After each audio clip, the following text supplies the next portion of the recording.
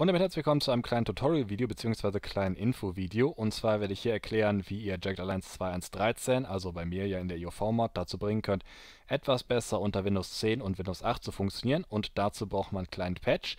Diesen Patch gibt es dummerweise nicht einzeln, sondern den muss man sich ein bisschen kompliziert organisieren, wie das äh, bei fast allem ist, was so mit 1.13 zu tun hat. Und dazu sind wir hier im Bierpits-Forum. Äh, keine Sorge, den relativ komplizierten Link packe ich euch unten in die Videobeschreibung. Falls ihr jetzt nicht weißt, äh, falls ihr jetzt nicht wisst, was das Bierpits Forum ist, das ist das Forum, wo sich unter anderem die Entwickler von Jahr 2.1.13 austauschen und auch sehr, sehr viele Modder aktiv sind. Allerdings hat das Forum das Problem, dass es ein bisschen durcheinander ist und es ist manchmal ein bisschen schwierig, sich Sachen zu finden, die man gerade sucht.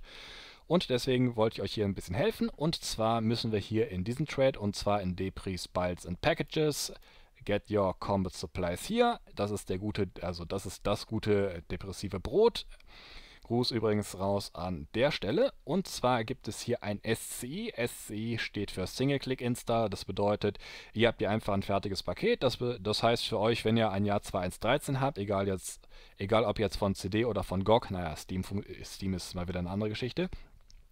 Dann könnt ihr euch hier die Datei, eine Datei runterladen, dann kopiert ihr diese ganze Datei auf euer R2-Verzeichnis und fertig habt ihr ein relativ aktuelles und, naja, äh, so, Röpser rausgeschnitten, und ein teilweise recht stabiles Jahr 2.1.13, allerdings ohne die IOV-Mod und auf die neue Version könnt ihr, soweit ich das weiß, die IOV-Mod auch nicht installieren, aber wir möchten hier was anderes, wir möchten ja hier den Windows-Fix bzw. Windows 10-Fix, dazu laden wir uns eins dieser beiden Sachen runter, das hier geht bei mir gerade nicht, deswegen habe ich das hier gewählt. Dann geht hier so eine Goofer-artige Seite auf. Hier gucken wir uns die ganzen Sachen an. Das neueste ist 2008 vom 15. Januar. Das kann sein, dass das äh, bei euch ein bisschen neuer ist, sobald ihr dieses Video in der Zukunft sehen werdet.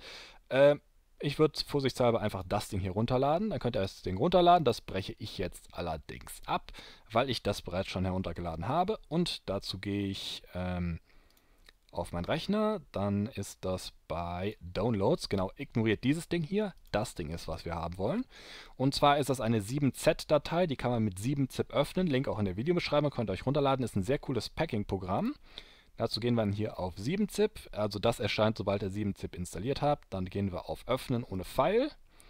Dann öffnet sich hier das ganze Verzeichnis. Also wenn wir jetzt das wirklich installieren wollten, müssen wir das alles kopieren. Wollen wir nicht. Wir wollen nach Docs. In Docs gibt es dann die Windows-Fixes. Dann haben wir diese Datei und da es immer komisch ist, wenn man eine ZIP-Datei in einer anderen ZIP-Datei öffnet, kopiere ich das einfach hier mit den Downloads. Öffne das Ganze, öffne das Ganze, Game Dear. So, dann hätten wir das. Dann müssen wir natürlich noch zu IOV. Waren wir es denn? IOV und meine Familie schreit rum. Ich hoffe, ihr hört das nicht.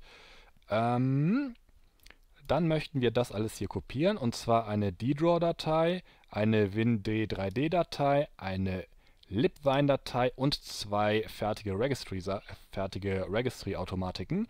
Das Ganze kopieren wir hier rein. Das habe ich bereits schon getan, weil bei mir läuft der Fix ja bereits. Des Weiteren können wir uns jetzt aussuchen, ob wir das Ganze für den Window-Mod, also für den Fenster-Modus optimiert haben wollen oder für den Fullscreen-Mod, also fürs Vollbild.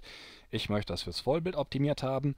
Äh, bei diesen Dateien muss man normalerweise immer ein bisschen vorsichtig sein, weil die einem in der Windows-Registry rumschreiben. Deswegen gucke ich mal hier kurz rein unter Bearbeiten, was hier drin ist. Allerdings habe ich das schon geguckt. Hier passiert nicht wirklich viel. Und zwar wird hier einfach nur eine Spezialbehandlung eingetragen für die Jahr 2-Echse und zwar diese Sachen, was ich allerdings ein bisschen merkwürdig finde, weil wir starten ja eigentlich aus einer eigenen IOV-Exe, aber trotzdem ist das bei mir flüssig.